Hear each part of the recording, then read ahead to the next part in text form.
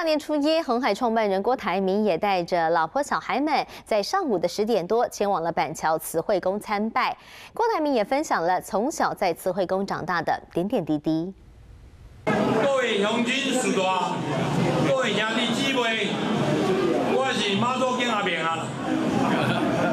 一九八零，一九八零年十月十八，透早啊，七点外，啊，我就伫遮。出血，我这间后来盖，我家变成财神殿。啊，我每年呢，弄灯啦，来拜妈祖天，来拜这呃慈惠呃慈惠宫。好，这个郭台铭不仅是跟大家来分享与慈惠宫之间的缘分，郭台铭也提到了二零一七年请唐山师傅从中国福建梅州奉呃请这个天上圣母来到台湾的故事。那么他也期盼再找一天可以请湄洲妈祖再来到台湾。同时呢，郭台铭在现场也发放了新年红包，祝福大家红兔吉祥，国泰民安。